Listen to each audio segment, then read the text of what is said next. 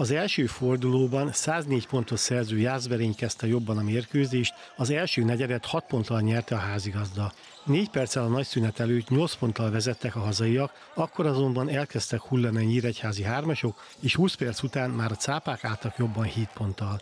Fordulás után sem lassítottak a vendégek, folyamatosan nőtt a különbség, és végül Horváth Ákos együttese 24 pontos győzelemmel javította Budafoki vereséget követően. Lényegi dolgokon nem változtatunk, inkább sokkal, sokkal inkább az, hogy, hogy a, a folyamatos gyakorlás beérett egy része, és azért sok pszichikai gát is átszakadt, tudnék mondani még egy fordulópontot a mérkőzésen 16-17. percben, mert az első felében kicsit görcsösen mindenki nagyon akart, amivel nem volt gond Budafokon se, csak mire ez összeállt, és jött néhány könnyed, szép megoldás, addigra eltelt az a 15-17 perc, és egy mínusz 8-ból két perc alatt csináltunk plusz hetet.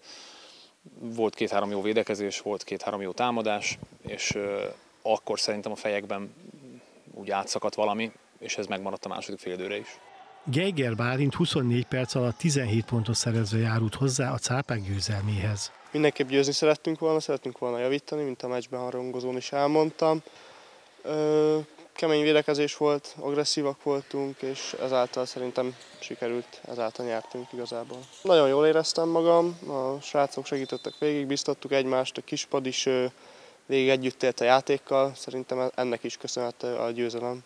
A forduló további eredményei a következők, Fót Budafok 81-74, Vasas Akadémia Measz Miskolc 95-68, Pécsi VSK Deac 23 102 76, Óbudai Kaszások Cegléd 91-92, új Buda Mafc BKG Prima Akadémia 67-79 és Salgótarján TF Budapest 62-78. A két cápák első hazai meccsükön a Salgótarjánt fogadják. Salgótarján most talán elvesztettek két-három olyan rutinos játékost, aki, aki meghatározó volt náluk, ők is építkeznek.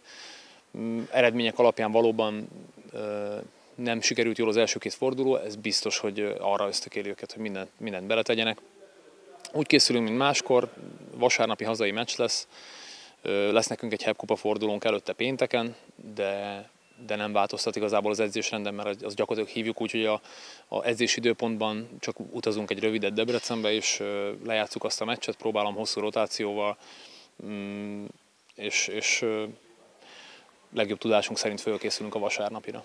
A Hübner Nyíregyháza Blue Sharks Salgótarján mérkőzés vasárnap 17 órakor kezdődik a Continental arénában. A forduló további párosítása a következő Pécsi VSK TF Budapest, MEAFS Miskolc Cegléd, Budafok Jászberény, BKG Prima Akadémia, Vasas Akadémia, Deac 23 Óbudai Kaszások és Fót Új Budamafc.